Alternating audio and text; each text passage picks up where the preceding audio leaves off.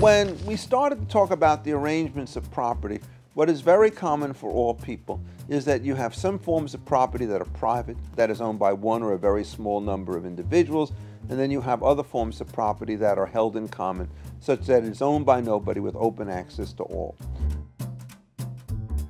In law school, we tend to study the common elements less and the private elements more because the private elements are where you have the voluntary contracts for leases and for hires and for mortgages and so forth. But to understand the full system, you have to see the two parts. How do you know which resources should be common property and which should be private property? To understand how this works, what you have to do is to think about a map. And when you look at the map, you will see parks on the one hand, streets, tunnels, and so forth, and lots of private parts of land. If you have something that's long and skinny, what it does is it allows you to link the activities that take place on separate parcels.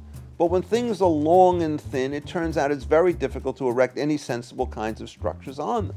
Uh, so what happens is when we have these rules on the common, and this goes back to Roman law, they are basically open to all, but they may only be used for transportation and passage. Now to have a use of productive unit, what you need to do is to get something that's relatively squarish so that you could have built a building or a barn or a house or a field upon it.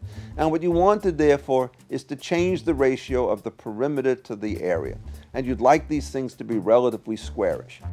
So the standard map always reflects that particular element. You see the productive functions on the squares and you see the linking functions as being long and thin. And the way they link together is through the following very simple proposition. Any person who owns a square which is next to a public road or a highway has the right to access on that road and if you design the network correctly, it means that every person who has private property with access to the road can, by staying on the network, reach every other piece of property that has access to the system. And maps are drawn with those kinds of constraints and questions.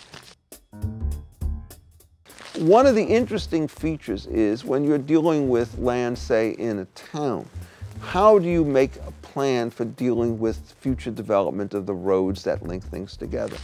And what one very clever device is, is that the city fathers, they do is they put down a grid which indicates where the highways are going to go and the small streets are going to go. They let people acquire whatever land they want, but make it clear to them that when the time comes to build the roads and the highways out, any private structure that they have is going to have to be removed.